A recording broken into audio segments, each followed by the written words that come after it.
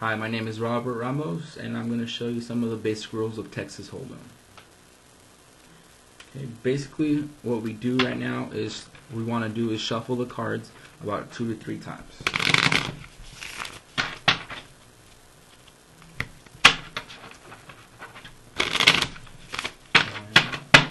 Now what we do is deal the cards to the players, a minimum of two players, and now we deal every time to the left hand side of the person that's dealing.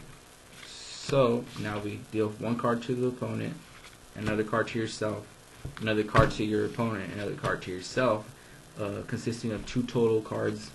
And now what we want to do after this is bet. We're going to do the bet, uh, betting, a round of betting, and after that we show the flop. A flop consists of three cards dealt in the middle, and you could show them. One, two, three, which are eight of spades, nine of diamonds, six of hearts. Again, we do another round of betting. After that, we burn a card and turn another one. Every time you deal another card on the deck. And this is a ten of uh, spades.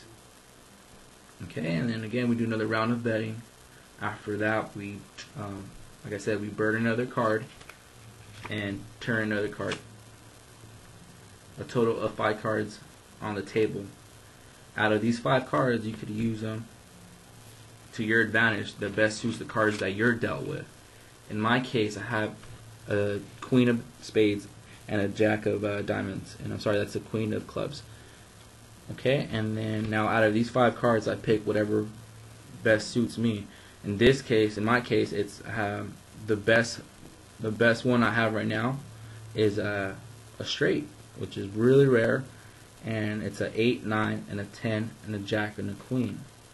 And after this, I could bet, you know, pretty strong, and my opponent will either call me, or re-raise me, or fold so let's look at the other you know, the other cards. They have a 10 and an ace. And in this case, it's two pair. They have a 10 out and an ace. They could use those two cards to their advantage, and they have a two pair. Uh, this is a, a really good example and uh, Hold'em where the my opponent, if I were to play them, they have a really strong hand, and I have a strong hand as well. Now the only case is who has the better hand, and in my case, I have the better hand, which is the straight, and that's about it.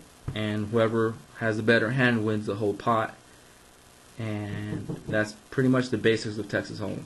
Thank you.